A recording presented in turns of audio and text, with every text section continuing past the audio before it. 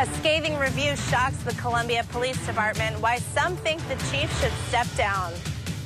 High winds keep local fire departments very busy today.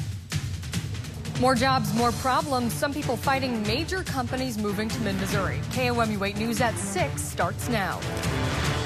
From Studio 8A, coverage you can count on in high definition. This is KOMU 8 News at 6.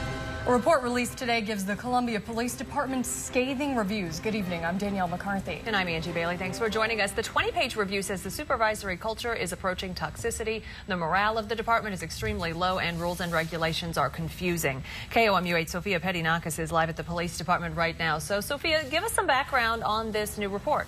Thanks, Michelle. Speaking of those strong winds we had today, they can cause more damage than just a skirt alert we've been joking about. Damage like several fires called into the Boone County Emergency Management just this afternoon. The National Weather Service issued a wind advisory and a fire weather warning today. KOMU spoke with the Boone County Fire Department officials who said these warnings are typical for mid-Missouri this time of year. Gale Blomenkamp says strong winds, low humidity, and warm temperatures result in conditions that are perfect for fires. In mid-Missouri, this usually happens in February, March, and April. And he says sometimes people just don't think when they burn. Blomenkamp encourages people not to burn anything at all on days like today. Columbia residents are meeting with city officials right now to talk about enhanced enterprise zones, or EEZs. The zones are designed to bring jobs to the city by offering tax incentives to companies. But KOMU 8's Cody LeGros shows us how one resident thinks it's too good to be true. We'll have more on tonight's meeting coming up on KOMU 8 News at 9 and 10. A local kitchen's new location affects more than just its guests. But see why its old neighbor is left looking for money. Drum roll, oh, there it is. The record two-hour rainfall amount was nearly 10, 20, or 30 inches. That's a lot. Like the rain. record ever for yes. the U.S. or whatever. It's going to be a lot. Two hours.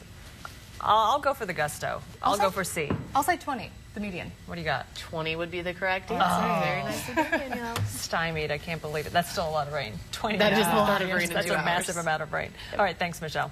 A new space for a familiar place. How moving Columbia's soup kitchen will impact more than just its visitors. KOMU 8's Lauren Singvanay shows us how One Day Center employees still optimistic about its future. The soup kitchen provides meals to an average of 60 people every night. Meaning a new approach. How a former Florida Gator swimmer revitalized her career at Mizzou. That's next in sports. Coming up at 10, we'll tell you all about the Super Tuesday turnouts. And how recent violent weather could affect how much you're paying for insurance. We'll have those stories at 9 and 10 tonight. Skirt alert still in effect. We're going to say it through tomorrow. we can. Through, through tomorrow. tomorrow. What's a skirt alert? Keep it in mind. You don't have to worry about no. it usually. No. But those of us who wear Not skirts, usually. it comes up more than often. Thanks for joining us, folks. We'll see you at 9 and 10.